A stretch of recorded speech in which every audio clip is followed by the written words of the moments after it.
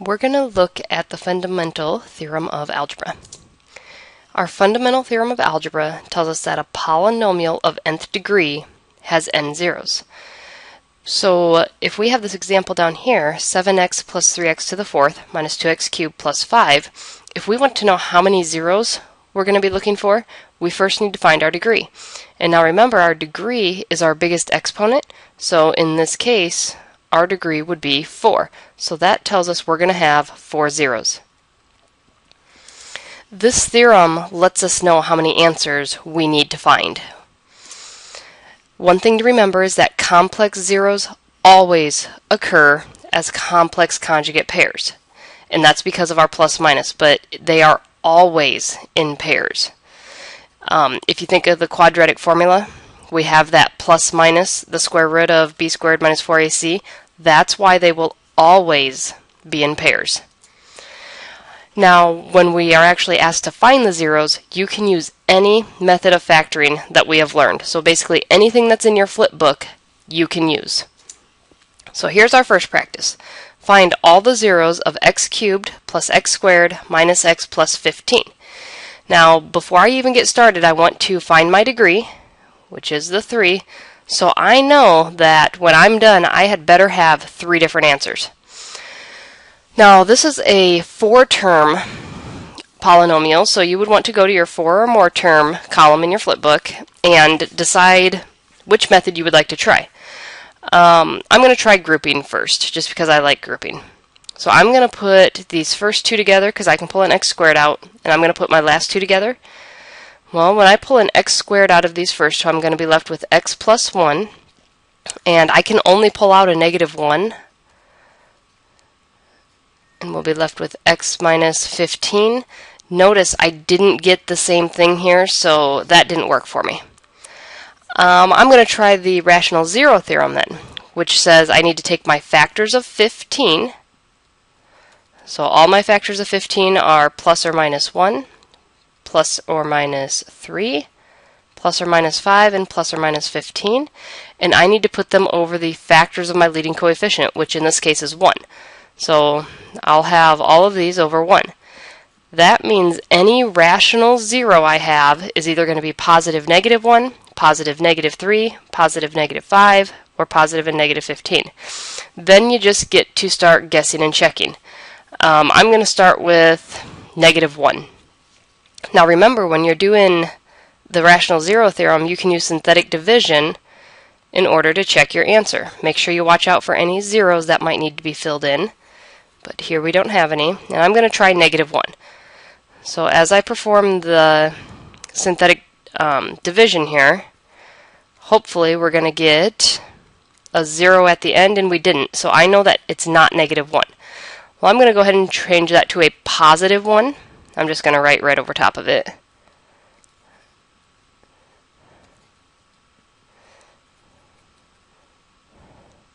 And still didn't work out for me. Okay, so I know it's not negative or positive one. Um, I'm going to try negative 3 again. So set up your synthetic division, put your negative 3 out in front, and see if you can get that one to work.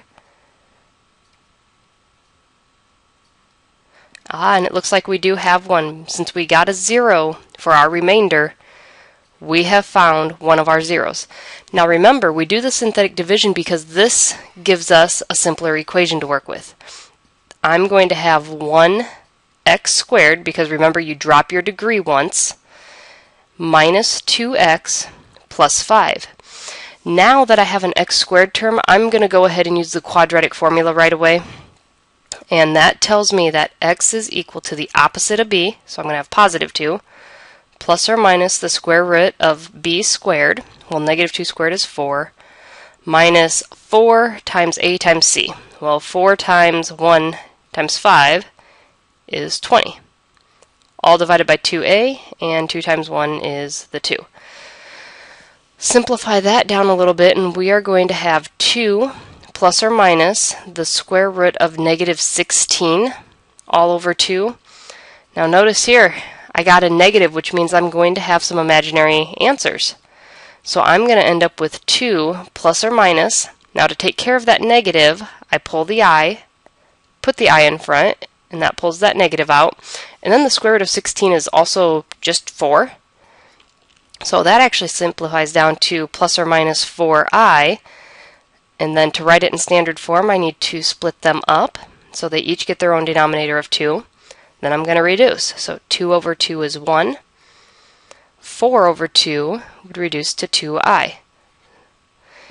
Okay, now before we started, I said we needed three zeros because our degree was 3.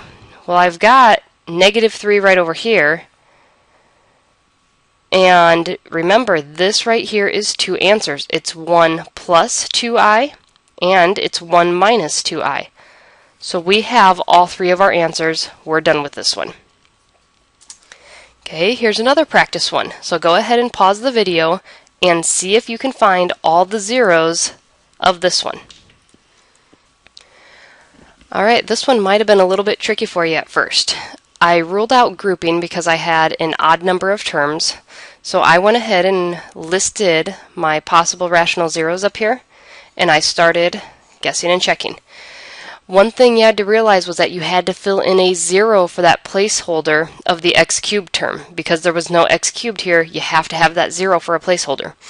I put one on the outside for my first guess, did the synthetic division, and found out that it worked. So I rewrote my new simpler equation here and checked to see if I could do grouping, but I couldn't because, again, there was an odd number of terms. So I went back to using the synthetic division. I wrote my coefficients down. I didn't have to fill in any zeros this time. Then I guessed negative 2 on the outside here. Did my synthetic division and negative 2 worked out for me. So right now I'm at two zeros. I've got a 1 and I've got a negative 2 that worked. With my new equation, I tried grouping first and it didn't work, so I went back to my rational zero theorem. And what ended up happening was that 1 worked again. When I did the synthetic division by 1 for a second time, it worked again. And that gave me my simpler equation here, this x squared minus 2x plus 3. From there, I decided to use the quadratic formula because I was down to an x squared, a quadratic. So I plugged that in, and I ended up with 2 over 2 plus or minus i square roots of 8 over 2. Well, I reduced the 2 over 2 to 1, and then the square root of 8 reduced down to the square root of 4 times the square root of 2. And then the square root of 4 is just a regular 2. Then I reduced those two regular 2's and I was just left with 1 plus or minus i square roots of 2. Now remember, this is two answers. Here was our third answer. Here is our fourth answer. And here is our fifth answer, which matches our degree of 5. So one thing you might not have known was that you can have repeat zeros. We've had them when we've been doing other algebraic um, problems. We've had doubled up zeros. But now, even with synthetic division, you have to realize that sometimes you might have to try the same number twice. What happens on a graph when you have a double zero? Well, we'll have a zero down here at negative 2, so our graph is going to go through there. And then over here at positive 1, your graph is going to come, touch the axis, and then bounce back up. That's actually how you get a double zero, is when it just touches the axis and then turns back around. Practice 3 says write a polynomial of least degree in real coefficients that has zeros of 2, negative 3, and 2 plus 4i. What you need to do is you need to think back to how do we go from zeros to polynomials. Well, recall that zeros can be turned into factors and we can multiply factors to get our polynomial.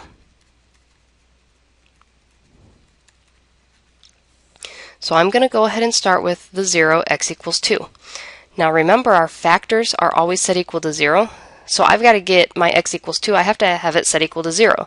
In order to do that I need to subtract 2 from both sides, so I would end up with a factor of x minus 2. Then I'm going to go to my negative 3. Well, in order to get it set equal to 0, I have to add 3 to both sides. And so I would get x plus 3 as another factor. The 2 plus 4i, you're going to do the same process. I'm going to minus 2 from both sides. I'm going to minus 4i from both sides. And I'm going to end up with x minus 2 minus 4i. Now remember on that first slide what it said about complex zeros. They always occur in its complex conjugates.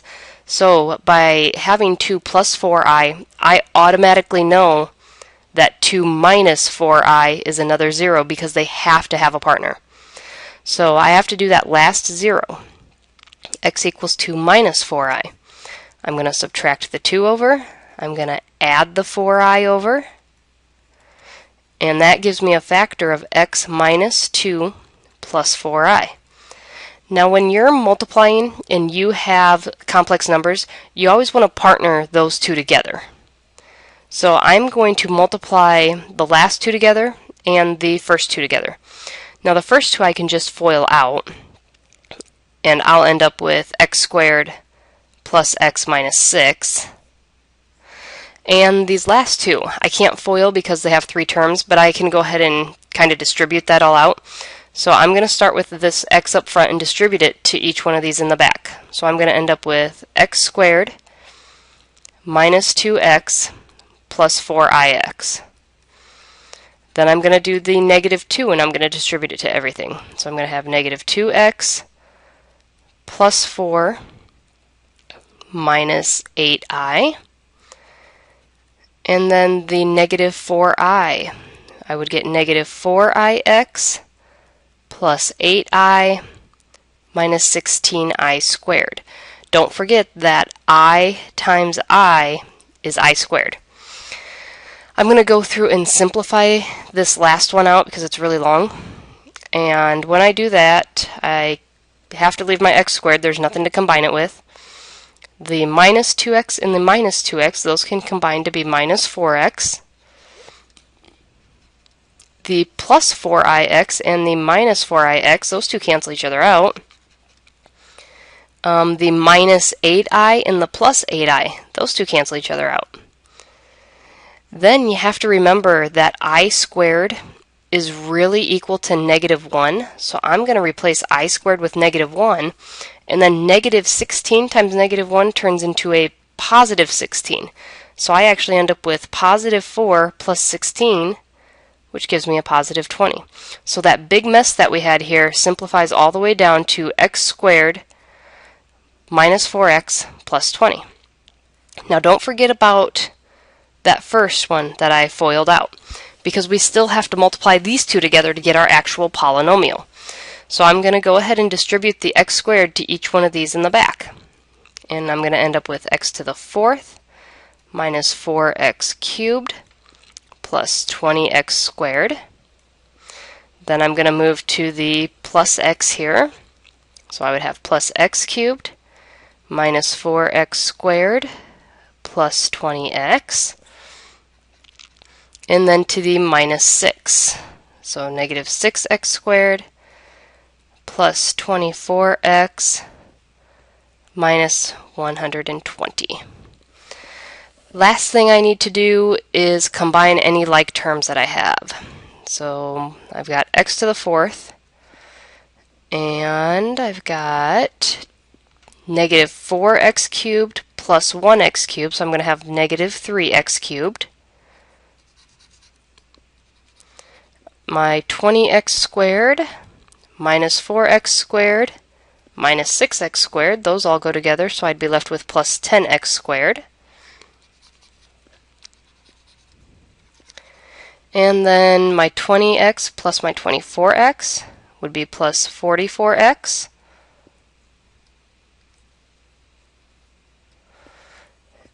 And my minus 120 doesn't have anything to go with, so it just gets to stay minus 120. And now when I put my y equals to that, I have my polynomial of least degree that has those zeros given to me.